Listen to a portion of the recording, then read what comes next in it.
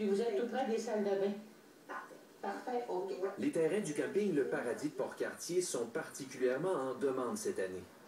Tu dois avoir des places où de deux sur le même terrain pour accommoder les travailleurs. tu sais. Les travailleurs, c'est des- c'est là qu'il y a là, les roulettes qu'il y a là, c'est des gens qui vont, ils font la slack pour Hydro-Québec.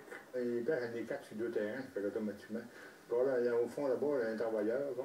En effet, les responsables du camping logent plus de travailleurs que de touristes cette année. Tout ça parce que de gros projets industriels sont en développement. Surtout avec les nouveaux développements qu'on est supposé d'avoir ici à Port-Cartier à cause d'excellent métal. Ben là, ce qui arrive, c'est que les compagnies, ils- ça la, la prend de la place pour les hommes. Puis euh, les chambres d'hôtel, apparemment, sont toutes prises. Les maisons de pension, il n'y en a pas beaucoup. Ben, nous, fait, euh, on, s'installe en camping ici parce que l'hébergement ici est dur à trouver à Port-Cartier. Nous, on était appelés, on est entrepreneurs ferroviaires, puis on était appelés à venir travailler par Salon-Métal. Au début, là, au début des projets, il y a du monde qui allait coucher avec moi à cause qu'il n'y avait pas de place à Port-Cartier. Puis les gens, ce qui arrive aussi, sont contents de venir sur le camping avec leur maison mobile, leur roulotte, parce qu'à ce moment-là, ils peuvent amener leur famille aussi. Sais, Tandis qu'en chambre pension, le monsieur, sa femme, ses enfants peuvent pas aller là. là. Devant la situation, les responsables du camping ont décidé de réserver au moins le tiers des terrains à la clientèle touristique. Oh, cher monsieur, ça ira pas avant le 18 juillet.